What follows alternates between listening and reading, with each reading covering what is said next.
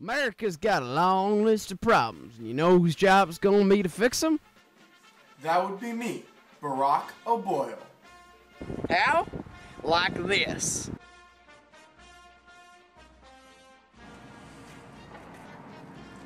What the heck, man?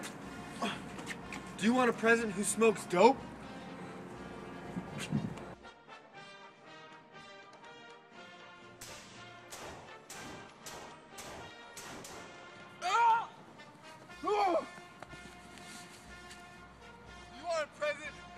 All about guns? I'll show you real guns. Who? We as libertarians believe in less government. We as libertarians believe in a better education system run by the parents. Hey, Mom. Hey, son. Good job. Hello? Hey, what's up, bro? I'm on my way. I'm hey, hey! Wait.